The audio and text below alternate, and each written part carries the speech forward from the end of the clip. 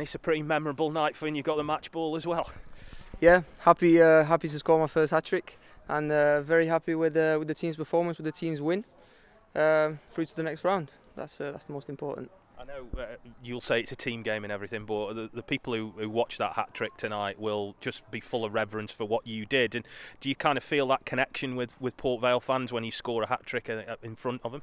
Yeah, listen, I appreciate all the travelling fans that come to watch uh, the the game tonight. I appreciate all the support that they've shown me, and um, yeah, I'm like I said, I'm really happy for the for the team's win, and of course it's a it's a good achievement. I'm I'm happy. My first hat trick. First one, take a deflection. Be honest. it did take a deflection.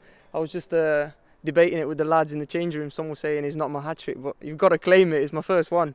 So yeah, I'm happy. I'm happy that it got given to me. Did you feel tonight there was a game where you, you were going to get chances given how well you controlled the game? Yeah, I thought especially the first half, uh, even the second half actually, I thought we, we played really well. We controlled the middle of the pitch. I think Brad Walker and uh, Tom Conlon were getting on it really well. The spaces were opening up, and um, yeah, I think we, we played really really well tonight You scored some really crucial goals last year, and even though this is a cup competition, it, it, showed you've not lost that touch as well. When you're in the position that you're in, and you know you're playing just off the front too, how important is it to find that space where you get those chances to score? Yeah, I think it's, I think it's really important. I think that's the that's one of the things that I try and work on in training and um, and improve finding them positions and uh, obviously the the finishing aspect of it as well. And uh, thank God that I uh, that the ball lands to me in that position because it might sometimes sometimes it doesn't it doesn't land there, but um, thankfully it did tonight and uh, and it went in. Do you feel kind of, for want of a better phrase, do you feel kind of at home here because it's your second spell? You look like you're enjoying your football. You've got a big smile on your face now. So does this kind of feel like a bit of a home for you, Port Vale? Yeah, of course it does. That's uh, that's one of the main reasons I've come back. I feel. Uh, I feel loved there. I love uh, I love all the staff, the the players. They've been very good to me. The fans, of course and uh, that's one of the reasons why I'm back to uh, to try and get minutes and help the team.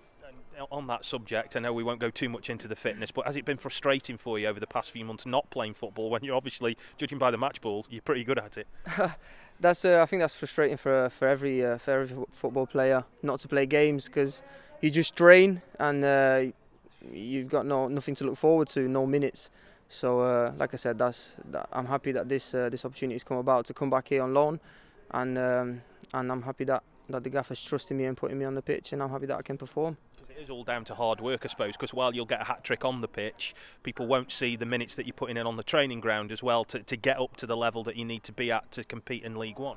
Yeah, of course, and uh, it's, it's not just me that, that scored the hat trick today. It's, uh, it's all the all the other boys. Maybe I, I. Uh, I, shine tonight because I scored the hat trick, but all the other boys put in uh, the same the same hours, the same work as me, and and uh, they deserve great credit as well.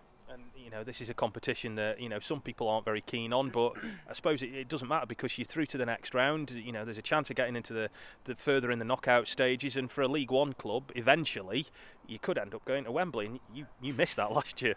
Yeah, exactly. Look, the the, the way I see it as a footballer is uh, every game that I play, I try to give my best in and and uh, and win as a team. That's the most important and uh, the gaffer was saying to us before the game, we got to treat it like a like a league game. You know, um, every game's important, and I'm happy we we won and we're through to the next round.